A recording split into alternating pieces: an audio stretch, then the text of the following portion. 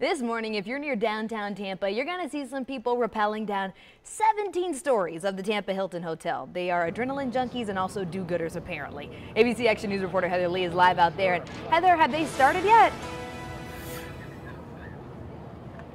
They are about to. In fact, you can see Thunderbug is getting strapped up, ready to come down. This is so scary to me. I don't know how these people are able to do this, especially once you start looking over the edge. It just must be thrilling and scary all at the same time. Now, these folks are doing this for a good reason. They have 36 people that are participating in this, and they are going over the edge, promising to raise at least $1,500 for Big Brothers Big Sisters of Tampa Bay. And so far, they have raised $71,000. Stephen Cook, the CEO, is joining me over here right now. Are you excited? Oh, we're very excited about this event. This is always a lot of fun. Okay, so I know that your goal was to raise $120,000. You haven't met that goal just yet, but you'd take a check if someone came down here, right? Absolutely. Actually, it's not too late to still sign up and come do this event today. You just come down to the Hilton with your check, and we'll get you. Uh, you don't have to have any experience to do this, and it's a lot of fun. Yeah, I can imagine. Pretty scary though, too, right? Well, pretty scary. You know, coming down 17 stories, the world looks a little different from that perspective. Absolutely.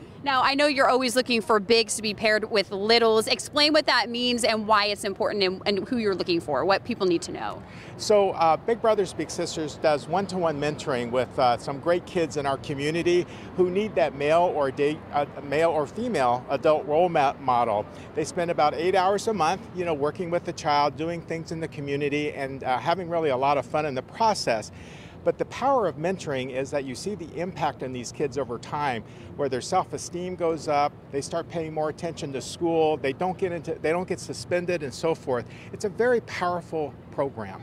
Well, thank you so much, and hopefully more people will join in and become bigs. And of course, if you want to come down and you want to watch this, you're more than welcome to. Come on down. There's a lot of people already getting set up, ready, ready to watch all this happen. So We'll see you back here in about a half an hour. Back to you guys.